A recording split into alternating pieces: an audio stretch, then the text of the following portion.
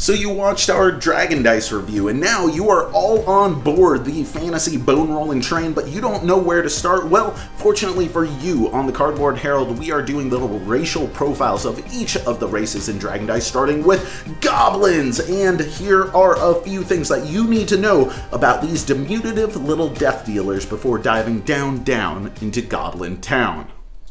First off, there are goblins and there are goblins. These are the real deal. These are a bunch of traitors who joined up with the elves and dwarves to form the Eldarim race. These are awesome. These are garbage. Well, at least for today's goblematic purposes.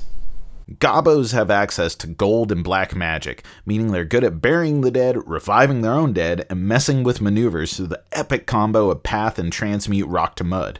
Combine this with their racial ability to count double maneuvers on swampland terrains, and you have yourselves the tools to create a super hardy maneuvering machine.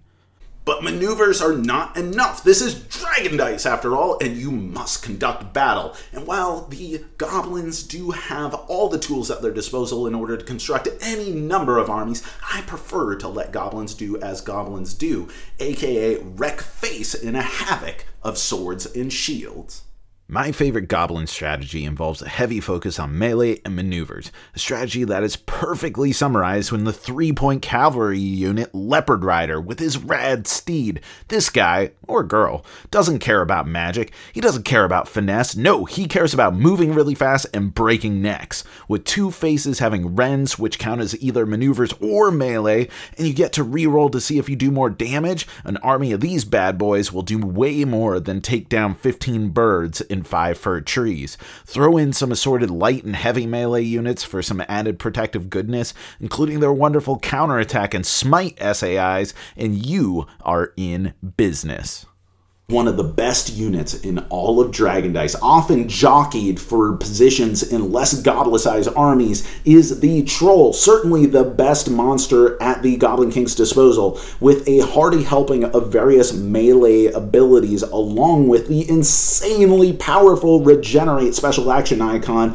This Troll is going to be swinging with the best of them during melee attacks, but also playing battlefield nurse, reviving and protecting your units, ensuring that your goblin army is hardy, healthy, and full of ghoulish undead goblins who are joining back into the fray. There's a reason why the Troll is every army's best friend.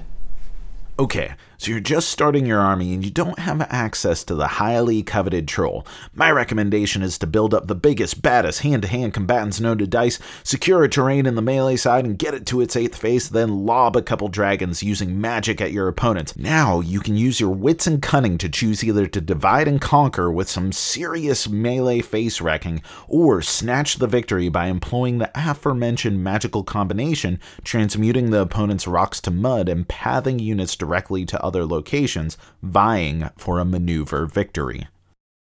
Whether it's the awesome iconography, just look at this freaking guy. The sturdiness, the renewability, the outright trickery of golden black magic, or just the flat out old school cool factor of being one of the four OG races in all of Dragon Dice, goblins are undoubtedly one of the coolest and scrappiest factions in the entire game. Alright everyone, thank you so much for watching us gab about Gobos. Next up, we're going to do a racial profile of either the flexibly ferocious Ferals or the undoubtedly cool matchup of Might and Magic in the Undead. Let us know which one you want to see next.